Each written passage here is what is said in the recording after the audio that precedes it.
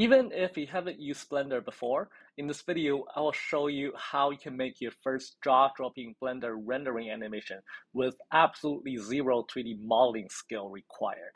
I know this render is not even close to beautiful, but this video is super objective oriented as I won't be really touching anything about lighting, camera movements, and other stuff. So let's get started.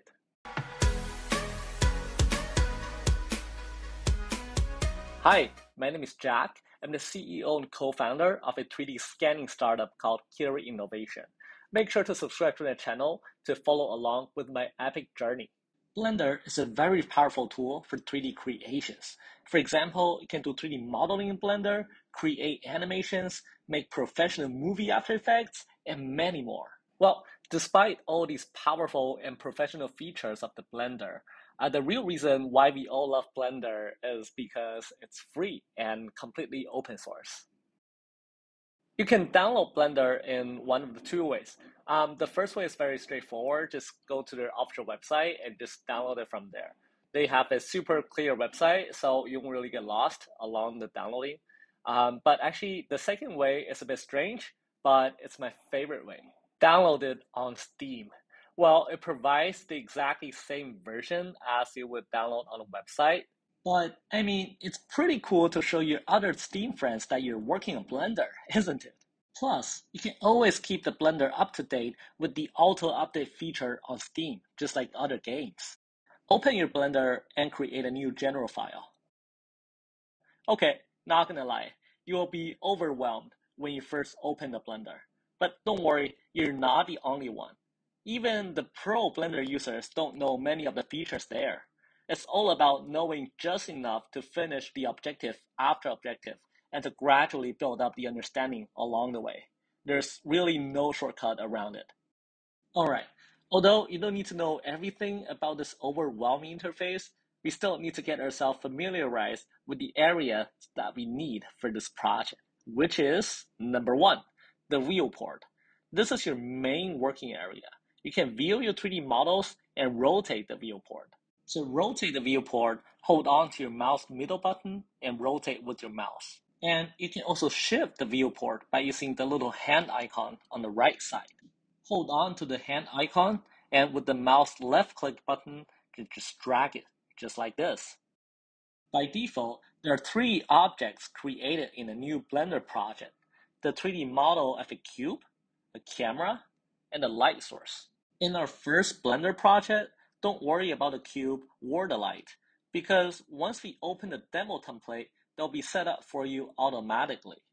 But I want you to know just a tiny bit more about the camera, because what you see right now in the viewport is not the same as the final render. To see what the position looks like in the final render, click on the camera icon on the right side of your viewport, and here, you are in the camera view. Now you're seeing everything through the camera, and this will represent what you will actually see in the final render. Note that in the camera view, if you try to rotate the scene with your mouse middle button, you will actually quit the camera mode and go back to the normal viewport. But what if I only want to change the views through the camera? And here's the trick number one for you. Make sure you're back in the camera view and there's a little left pointing arrow on the top right of the viewport. Click on that and then go to the View tab. Check mark Camera to View box. And now you can change whatever view you like directly through the camera view. And if you don't want your camera view to change, click on the camera icon again and go back to the normal viewport and rotate whatever you like. The camera view will not change. The toolbar. In the toolbar, you can do simple good things with the 3D model.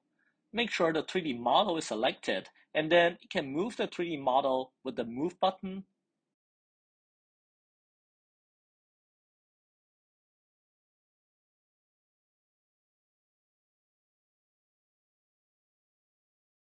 Or rotate it. Or scale it.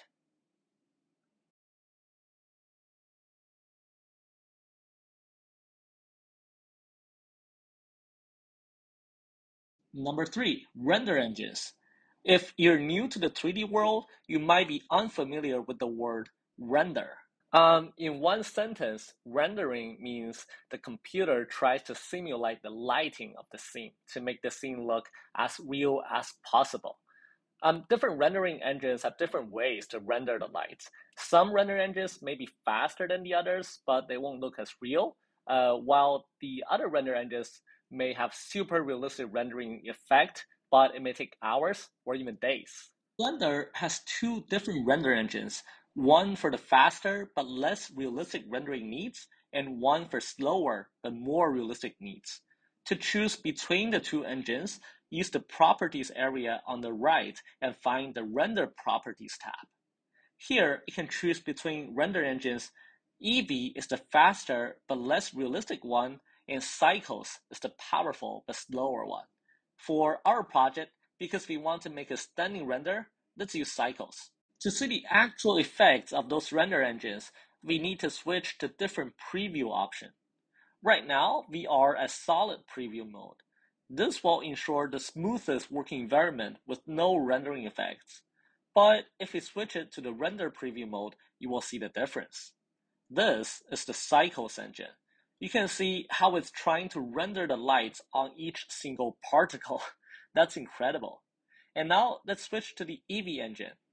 It's probably not noticeable with just a cube, but it's actually very different you will see once we open our demo template. Great! Now we got everything we need for a project. Let's open the template and get some real taste.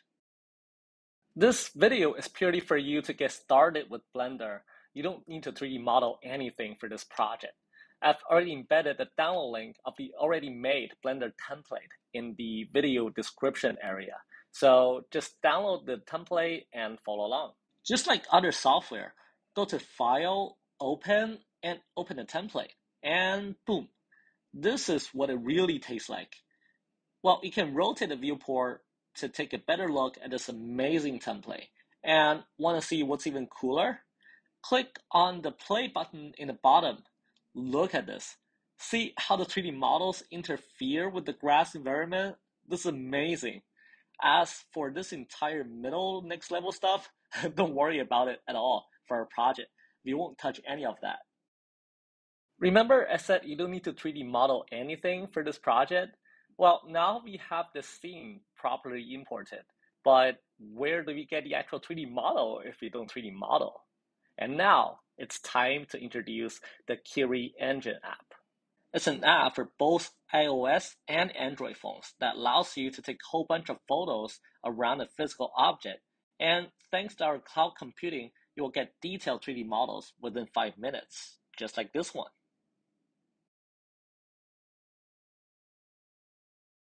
But keep in mind, guys, recently I've gotten some comments here and there saying, hey, Kiri Engine sucks. It can't even 3D model my water bottle whatsoever. Um, unfortunately, it's not because the Kiri engine sucks. It's because to master the photogrammetry technology that Kiri engine is using, you need to understand which objects and scanning methods are suitable for your situation. Although we are delivering better and better in-app tutorial, there are plenty of very in-depth and educational tutorials out there on YouTube uh, demonstrating how to use Kiri Engine like a pro. I've embedded some of the links down in the description area. Make sure to check them out if this is your first time using Kiri Engine. They will definitely help you to get better results. All right, let's assume you've already done some really good 3D scanning with the Kiri Engine app. Now let's try to download this 3D model to our project. So in the app, just click on the export button and type in the email address that want to receive the model. And that was fast. Click on the download link from the email and you'll just start downloading the model. Once the model is downloaded to computer, feel free to check it out. If you use OBJ formats, you should see a total of six files in the folder. There are actually two sets of 3D models for you. Um, one for the original generated 3D model with thousands of hundreds of polygons to represent the geometrical details of the object, and one for the low poly 3D model with only 15,000 polygons, ideal for game development. Okay, Now go back to Blender and use File, Import, OBJ to import your 3D scan model to Blender. And of course, if you use other formats in Kiri Engine, use the corresponding formats when importing to Blender. When first import Kiri 3D scan model to the Blender, you might notice two strange things. One, it's not set to the center, and two, it's not sized correctly for the scene. Um, don't worry, these can be changed very easily. To center the 3D model, left click on the 3D model to select it, and then right click, Set Origin, Geometry to Origin. And this will let the 3D model center to the origin of the viewport. And remember toolbar we talked about earlier? Use the scale tool on the toolbar to scale the 3D model to the size you want, like this.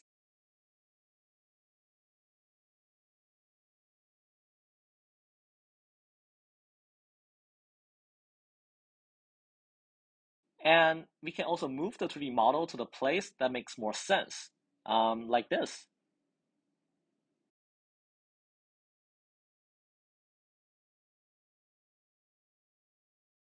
Okay, um, let's spend a little bit more time to refine the scene to the way we like.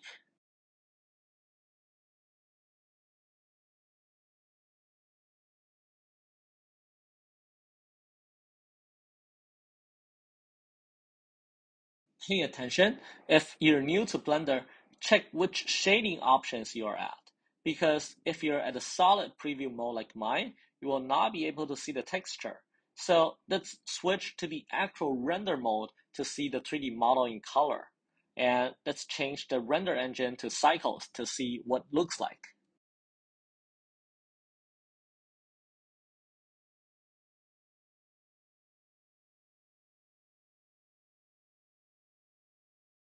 Great. We need to do one more step to make sure you don't spend a crazy amount of time rendering. We need to set up several parameters in the render properties. Under the render properties, make sure to choose cycles as the render engine. And then let's take a look at the device option. Alright, if your computer has a GPU, always, always choose GPU compute as the render device. This will ensure a much faster rendering speed. But if a computer doesn't have a GPU, well, it's not the end of the world, but you can only use CPU as the render engine, and which will be slower. And the second parameter to take a look is the sampling section.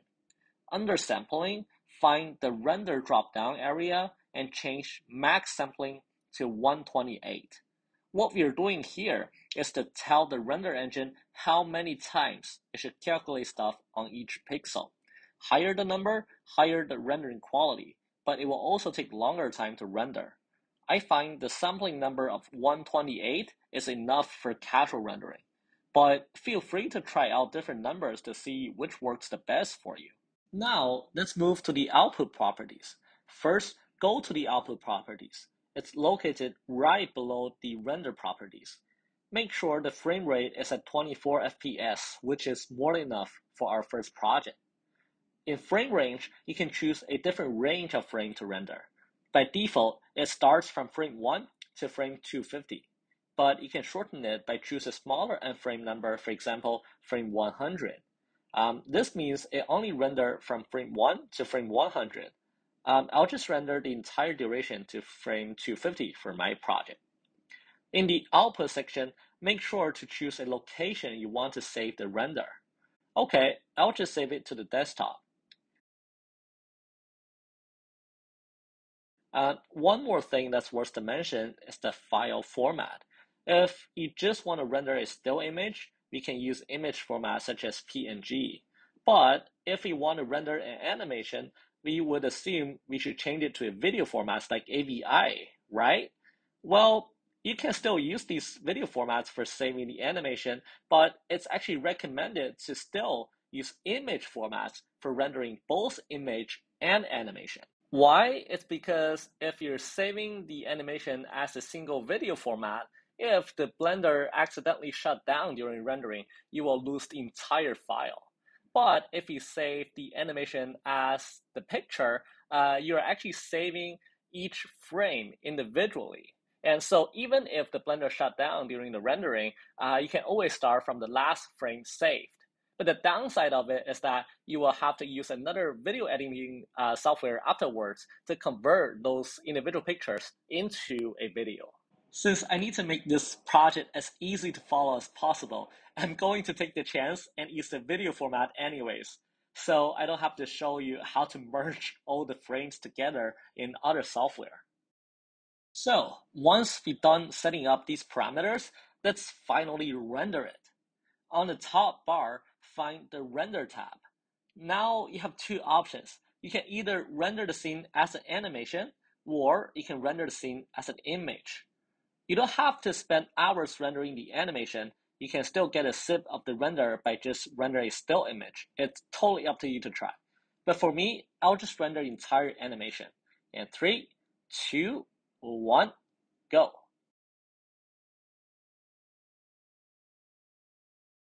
Now, your computer is rendering the scene frame by frame. You can't close the window while rendering. Um, the rendering speed is completely up to how powerful your computer is. So if you find that rendering animation would cost too much of the time, feel free to close the window to stop rendering and start with rendering a still image. Alright, after 30 minutes of render on my PC, here's the final animation. Alright, I really hope you guys learned something from today's video. And hey, if you actually made your first render by following along this video, please share the video in our Discord channel because we're having a massive Discord giveaway until December 15th of 2022. You can just make the entry by sharing the video on our Discord channel. And if you missed the entry by the time you're watching this video, still join us because we have massive giveaway going on very regularly on our Discord channel. And that's about it for today's video. I hope you like. I, I, blah, blah.